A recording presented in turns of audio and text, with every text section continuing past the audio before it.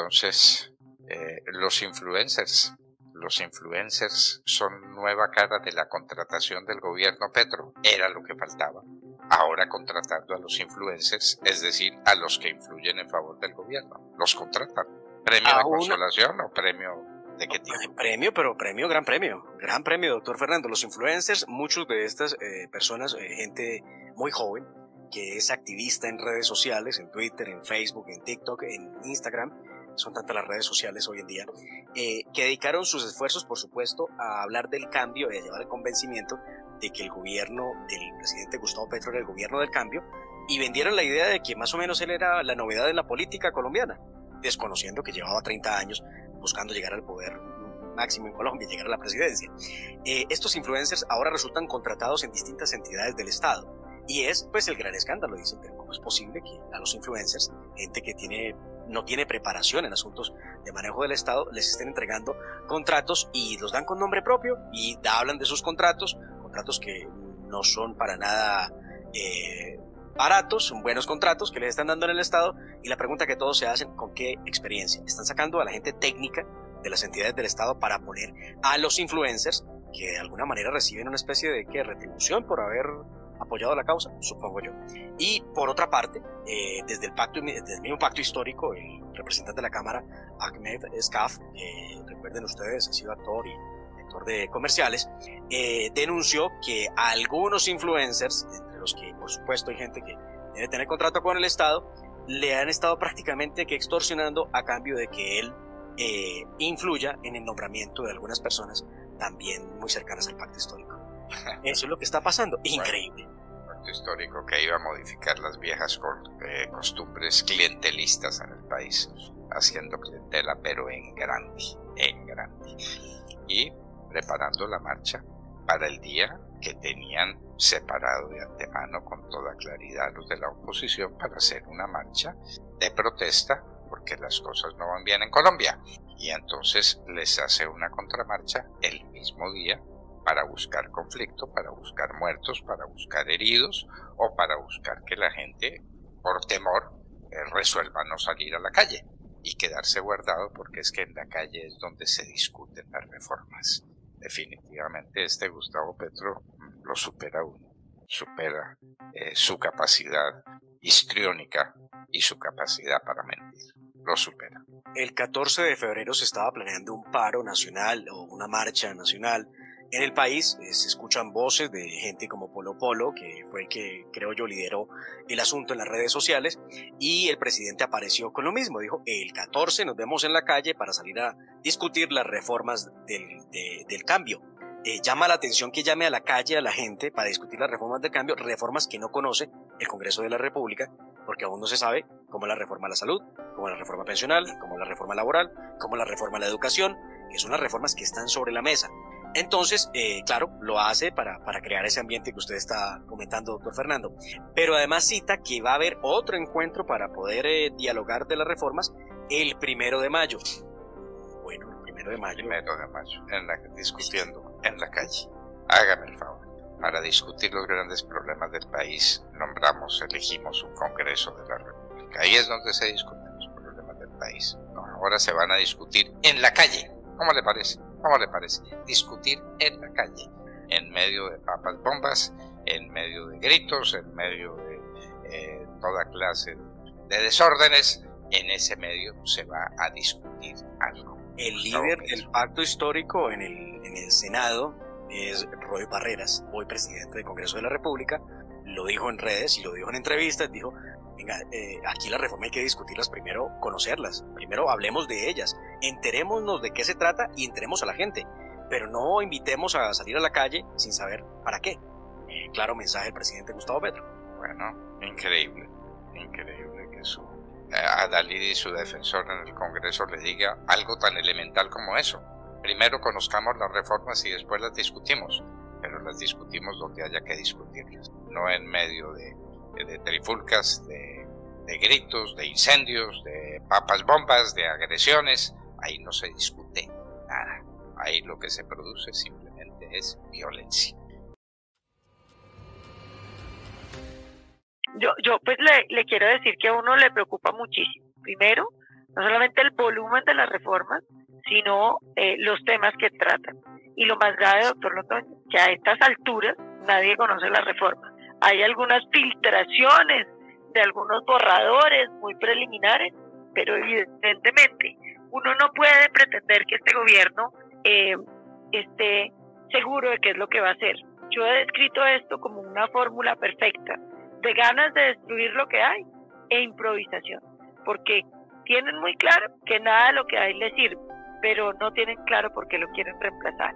Y usted sabe, doctor Londoño, que en política pública los procesos son largos. No es simplemente uno saber qué quiere hacer, sino después pues, empezar a hacerlo, irlo mejorando.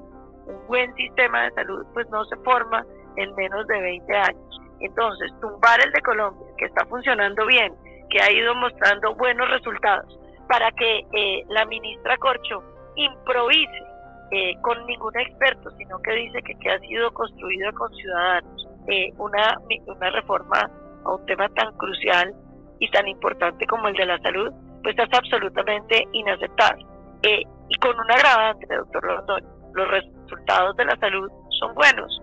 Los resultados de la salud no dicen que tengamos un, un sistema perfecto, pero sí dicen que tenemos hoy un sistema que está dándole resultados a los colombianos, que la cobertura eh, y el acceso a la salud está bien, que por supuesto el gobierno quiere hacer mejoras en el sistema de salud, que lo saca. Hay muchos campos. ¿Qué le parece, doctor Londoño, el problema de la población rural dispersa? Es decir, la gente que vive en áreas poco pobladas, donde las EPS no funcionan. Ahí hay un reto. ¿Qué nos inventamos para eso? El presidente Santos, por ejemplo, decidió que lo que había que hacer era unas EPS grandes. Eso tampoco funcionó. Eh, pero entonces ahora nos dicen, ah, no, como la, la gente apartada no tiene servicio a la salud, vamos a desbaratar todo el sistema. Eso es como decir, como la gente que vive apartada tampoco tiene acueducto, pues desbaratemos el acueducto de, de, de, Popayán o de Bogotá. Eso no, doctor Londoño, no hace ningún sentido. Hay temas centrales en el, en el sistema que se tienen que resolver. Los salarios de los médicos, que son tal vez el obstáculo más grande para la formación de especialistas que no se forman especialistas porque no quieren que precaricen su trabajo como se ha venido precarizando el de los otros. Y a uno le preocupa, doctor Londoño, que en vez de estar viendo cómo se resuelve el problema de corrupción, que tal vez es el más grande que tiene la salud en nuestro país, que es que los eh, políticos locales y, y todos sus gabinetes deciden utilizar las eh, clínicas para nombrar a todos los amigos de la política y esas veces terminan teniendo descontrataciones eh, de, ciudadanos que nada tienen que ver con la salud, pero que son amigos de los alcaldes o de los gobernadores. Eh, y entonces en vez de resolver ese problema ahora nos hablan de que quieren hacer un adres, es decir, esas cuentas públicas, pero descentralizadas, como quien dice que va a haber un funcionario público en cada región que maneja semejante cantidad de plata que tienen eh, el sistema de salud, son más de 80 billones de pesos al año, y entonces eh, eh, terminamos con un sistema clientelista, corrompido, que se va a robar todo. Porque si usted lo piensa, doctor Londoño, ¿cuál es la diferencia o qué es lo que le pasa al SOAT? En el SOAT funciona como la ministra quiere que está diciendo, y es, la plata está en las cuentas del Estado, los hospitales cobran y el, y el Estado paga. Eso suena muy bonito, pero entonces se le olvida a la ministra que los hospitales empiezan a hacer procedimientos que no, se necesitan, eh, a cobrar más por procedimientos, a atender eh, al tope del SOAT 50 millones, todo lo que pase. Usted se quiebra una pierna, vale 50 millones. Se quiebra un dedo, vale 50 millones. Se raspa una ceja, vale 50 millones. Y por eso el SOAT vive quebrado y los colombianos tenemos que pagar un SOAT tan costoso. Entonces la ministra lo que nos está proponiendo es eso, acabar las EPS que es que porque son intermediarios. Mentira, las EPS lo que hacen es organizar el sistema. Y entonces la ministra eso lo niega, él niega que las EPS son las que negocian los precios, las que verifican que lo que le hacen los hospitales sea lo que los ciudadanos necesitan. Y pase usted a la reforma pensional. Claro que Colombia tiene un reto, que es la baja cobertura pensional que tenemos. Eh, y que hay unos ancianos pobres que no están recibiendo recursos. Por supuesto que eso es algo que hay que resolver imagínense si no lo sabemos los uribistas, que el presidente Uribe fue el primero en crear el subsidio al adulto mayor eh, para tratar de empezar a solucionar los problemas de los ancianos más pobres. Pero, doctor Londoño, a uno no le pueden decir que la solución a esto es endeudar a toda la ciudadanía quebrando el sistema pensional privado, que hoy tiene los recursos de millones de compatriotas y que lo que significa es que Petro se gaste una plata ahorita para dar un subsidio y después no va a haber con qué pagar las pensiones. Hay que recordar, doctor Londoño, que nosotros pagamos cerca de 70 millones por las pensiones de eh, apenas 2 millones y medio de personas. Y pasa después a las bellezas que nos quieren presentar en el Código Penal.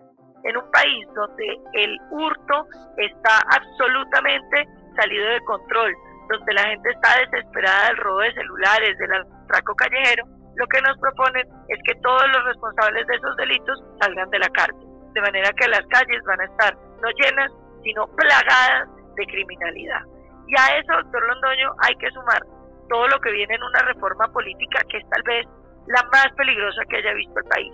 Porque la ciudadanía no se está dando cuenta de que en esta reforma política prohibieron, doctor Londoño, la financiación privada de las campañas políticas. ¿Eso qué significa? Que de ahora en adelante el gobierno de Gustavo Petro, que es el que está en turno, es el que decide a quién le da la plata y a qué hora. Y usted sabe la incidencia que eso puede tener en las elecciones. Y es que la plata de un partido no llega, mientras que la de otro sí llega. Y uno se pregunta, ¿y cómo van a repartir la plata? Yo ya le tengo la respuesta. Van a decir que de acuerdo a la representación que hoy se tiene. ¿Y eso qué significa? Pues que le van a dar más plata al pacto histórico que al centro democrático. Y eh, vamos generando entonces los problemas que hoy tenemos. Yo pudiera hablarle de muchas de las otras reformas, pero doctor Londoño, tal vez lo más grave que está pasando es que el presidente Petro está desafiando a la ciudadanía. Está ordenando que la ciudadanía salga, la ciudadanía petrista salga a defender unas reformas que no se conocen, unas reformas de las que apenas hay algunos atisbos y que salgan a la calle el mismo día que la oposición ha citado una, protesta en contra del gobierno, en contra de la inflación, de la reforma tributaria y de todas estas ideas tan equivocadas que se están presentando. Uno le empieza a generar la duda, doctor Londoño, de qué es lo que está buscando el presidente cuando dice que las reformas no se discutan en el Congreso, sino en la calle.